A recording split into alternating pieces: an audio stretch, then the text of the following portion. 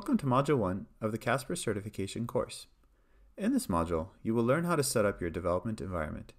This will enable you to start building your own decentralized apps on the Casper blockchain ecosystem. This module will cover the basic tools you will need to set up your first Casper smart contract, getting you ready to start building your very own dApps, which are simply applications built upon a decentralized blockchain infrastructure. By the end of this module, you will be able to compile, run, and test a sample smart contract on your local computer. We have designed this course for those who are familiar with blockchain technologies. If you're new to this domain, but are eager to learn, we hope the course will give you an adequate foundation to get started. Casper's blockchain is built upon the Rust programming language and compiles down to WebAssembly. If you don't know what either of those mean, don't worry about it for now. We'll do a deeper dive later, but for now we need to get your environment set up to be able to build your first smart contracts. If you'd like to read about Rust, here are some excellent resources. Last but not least, we welcome your brilliant ideas. The Casper blockchain is still in its early stages and has great potential to support decentralized, performant, and more secure blockchain implementations. The first step is to install the Rust programming language if you don't already have it on your computer. For detailed installation instructions, you can refer to their documentation linked here. If you are on Mac OS or Linux, you can install Rust via the command line using curl. Make sure that you have curl installed first, of course. Once you finish installing Rust, you can check your version with the command rustup version. Your terminal output should resemble something like the following. Uh, note, obviously, that at the time of the writing of this tutorial, the latest version of Rust and yours may differ. Next, we're going to start installing the necessary dependencies. CMake is a popular build tool that we will utilize. You may very well have it already installed on your computer. If you do, make sure that you have the latest version. Currently it's 3.19.4. If you need to install or upgrade it, follow the steps located at cmake.org slash install. And once installed, again, check your version as shown below and it should resemble this output. So now we're ready to install the Casper Labs crates. In order to get started with Casper, we need to use a Rust tool named Cargo.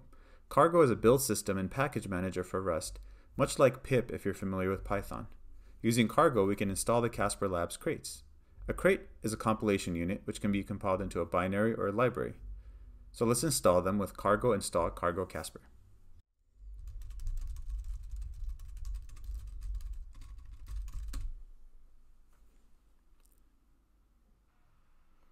Now this command may take a few minutes to execute, but I used the magic of video editing to skip ahead to spare you the pain. So let's continue on.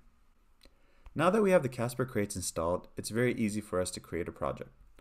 For example, let's say I want to create a project named My Project for this tutorial. You can choose a different name if you wish, of course.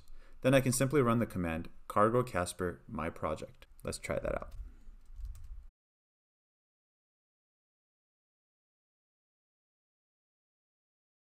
And as you can see, the command created this folder called my project. Now before we do anything, we can take a moment to explore the sample code.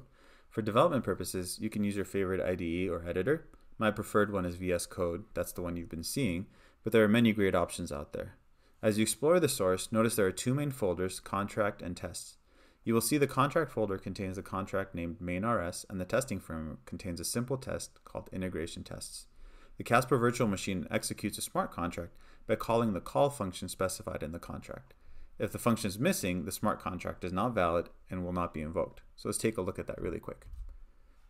As you can see, the contract folder contains a source folder, and here's main.rust. And that function call is necessary, otherwise it's not going to actually build.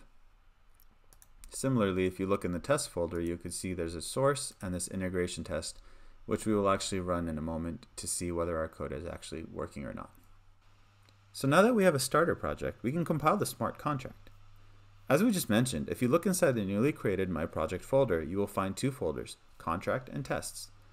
Let's focus on the contract for now. We need to build the project. In order to do that, we have to go into the folder and install the Rust toolchain and specify the target build as WebAssembly. Now that we have Rust set up, we have to compile the sample contract into WebAssembly. Notice that we build the contract using the release option. You should always build contracts in release mode because a debug build will produce a much larger contract that is more expensive to execute on the blockchain, which means higher gas prices. Once it's compiled, inside of the contract folder, you will see a target folder that will contain the compiled smart contract named contract.wasm. So with the contract compiled, we can run tests on it to make sure it behaves as expected and we follow good test-driven design principles. In addition to creating the contract, the Casper crate also automatically created sample tests in the My Project slash tests folder.